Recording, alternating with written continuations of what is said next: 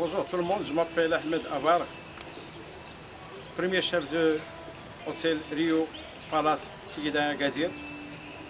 J'ai l'honneur de présenter une de, de meilleures recettes, la tagine d'agneau au pruneau et aux amandes. Pour confectionner ce plat, on a besoin de l'agneau bien dégraissé et dénervé, sans os, coupé en morceaux, pour 8, pour 8 personnes on a besoin d'un kilo 500 de viande, de la belle viande. Pour les ingrédients, on a besoin du safran, de l'ail, du poivre, de la cannelle en branche, de la sésame en grains, gingembre moulu ou en branche, râpé, de l'oignon haché, du sel, des amandes décortiquées et grillées, la percée fraîche et la coriandre, du pruneau bien cuit et gonflé,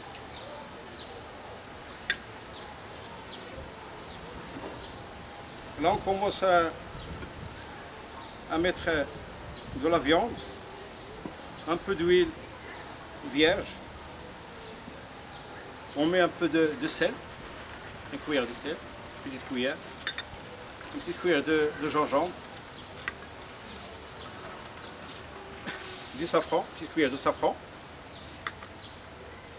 de l'ail et une cuillère de poivre. On laisse le tagine mijoter dans 30 minutes. Après qu'on sent que la viande est un peu tendre et bien cuite, on ajoute de la coriandre fraîche, de la cannelle en branche. On utilise la cannelle en branche parce que la poudre elle tremble la couleur de la, sauce, elle va être brune. On perd la couleur de la viande parce qu'on ne voit plus le safran sur, la viande. On voit tout, le reste marron.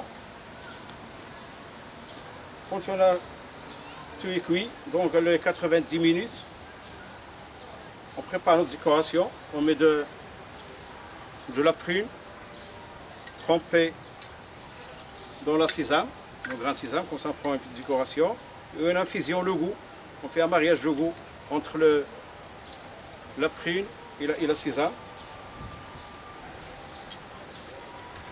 Après, on prend les amandes pour, terminer. un peu d'amandes.